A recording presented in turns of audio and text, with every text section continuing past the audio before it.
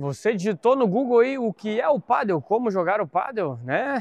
Procurou aí, então fica comigo nesse vídeo que eu vou te mostrar um jogo meu, do Soneca Paddle, na prática, né? Te explicando como é o saque, que é por baixo, né? Tem que ser na diagonal, quando que a bola pode bater no chão e no vidro, por que que pode, se dá na rede, o que que é, se dá na tela, o que que é.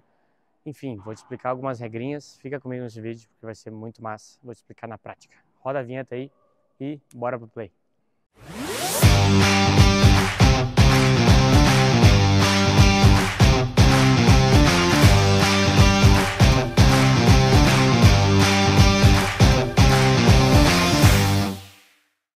Vai começar o jogo, padelista. Olha só o sacador de cinza aqui, ó. Ele vai começar o jogo, tem que começar sacando sempre do lado direito da quadra.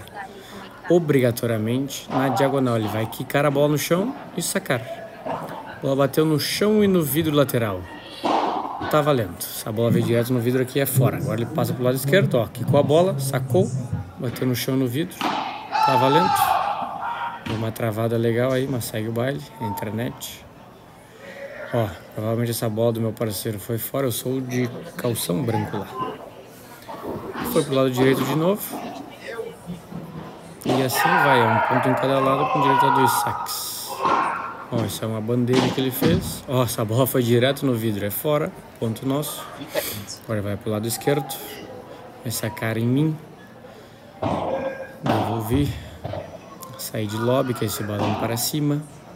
Meu parceiro se adiantou, tomou uma passada e ainda peguei, cara, que loucura. Salvei o ponto. Toma então. Ai, não matei-te. Então, enquanto a bola não quicar duas vezes no chão, o jogo não acaba. Baita bola do adversário. Fecharam o game? Não, 40 a 15, acho que é.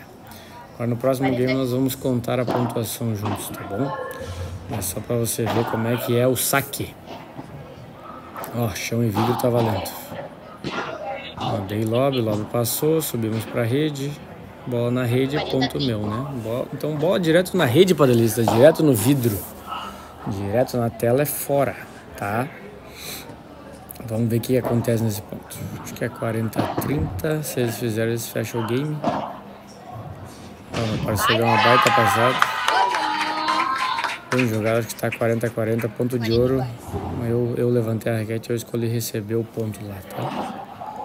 Vamos ver. Quem é que ganha esse game?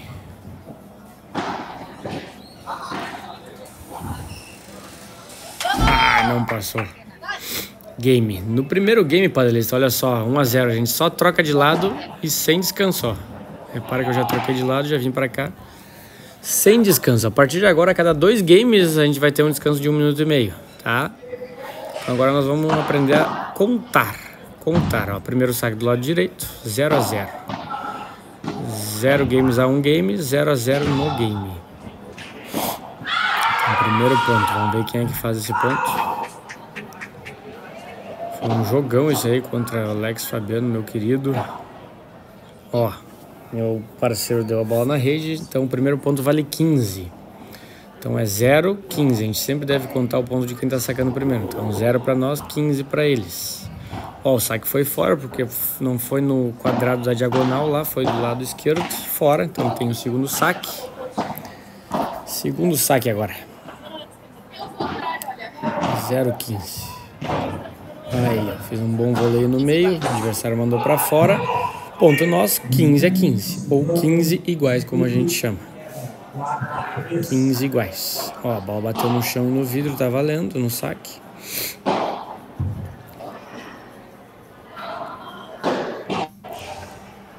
Tá valendo, um belo ponto. Lá vai o sonequinho. Ai, me escapei de tomar uma passada. Ponto nosso. Segundo ponto vale 30. Nós que fizemos, então, 30 a 15. 30 a 15. Lá vai o sonequinho dar uma bandeja de contenção, chama e o adversário dá na rede. Tem uma bola sem peso, é, dificulta a vida do adversário. O terceiro ponto vale 40. 40 a 15. Se nós fizermos agora, a gente fecha o game. Então um game tem pelo menos 4 pontos. 15, 30, 40 e o game. Ó, o adversário nos deu uma passada. Ponto deles. Tava 40 a 15, então ficou 40 a 30.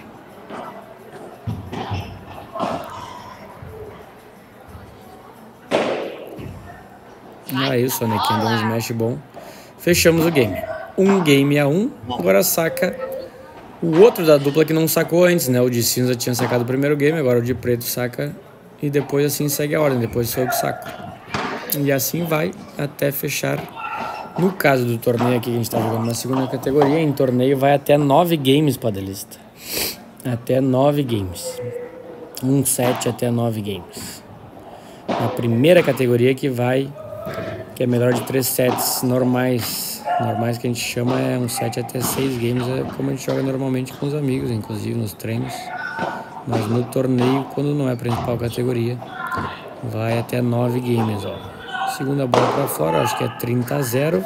E eu quero te mostrar a troca de lado. Que tem descanso daí. Ó, 40 a 0. Se eles fizerem agora, fecha 2 a 1. Perdão da voz. Eles fecham 2 a 1. Daí a gente vai ter um descansinho.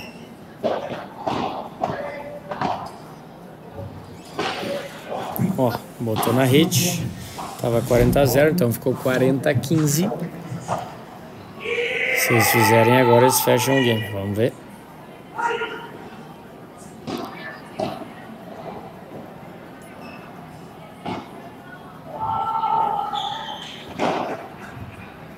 Aí, fecharam. Uma boa bandeira do Alex. 2 a 1 um. Como eu disse, agora vai ter um minuto e meio de descanso. Quem é que cronometra isso? Ninguém. Nós mesmos, né? Não tem árbitro na segunda categoria para baixo. Mas repara que no primeiro game, padelista, não teve descanso, a gente só trocou de lado. E depois que a gente trocou de lado, agora cada dois games, como rolou, né? Tava 1x0, agora ficou 1x1, 2x1. Cada dois games a gente troca de lado com um minuto e meio de descanso. Fechou? Então é mais ou menos assim que funciona o jogo de padel. Valeu? Curtiu a explicação, padelista? Então já deixa o like nesse vídeo, se inscreve, compartilha. Se inscreve no canal, compartilha esse vídeo porque ficou muito massa me ajuda muito. É, o YouTube entende que esse vídeo é muito relevante e leva para mais pessoas. Assim, juntos, nós ajudamos mais padelistas a entender o nosso jogo, o nosso esporte que a gente tanto ama e que é o esporte que mais cresce no mundo, tá bom? Te vejo no próximo vídeo. Bora pro play até a próxima. Valeu, tchau, tchau.